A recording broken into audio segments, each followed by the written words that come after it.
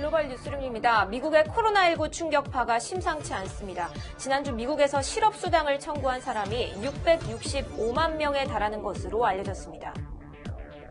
미국 노동부는 3월 넷째 주인 지난주 실업수당 청구 건수가 665만 건을 기록했다고 밝혔는데요.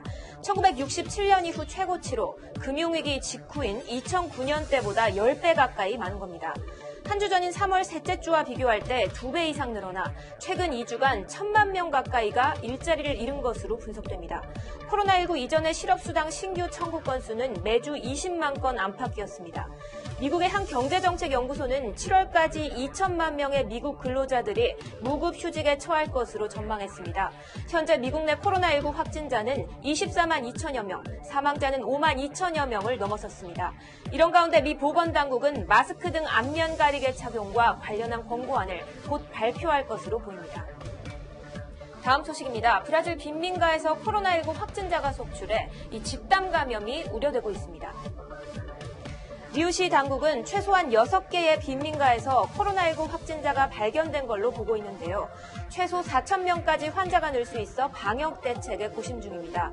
빈민가 주민단체인 파벨라 통합센터는 주민들에게 손을 자주 씻으라고 권고하는 정도라고 밝혔습니다. 현재 브라질에서는 코로나19 확진자가 8천 명에 육박하고 사망자도 324명으로 집계됩니다.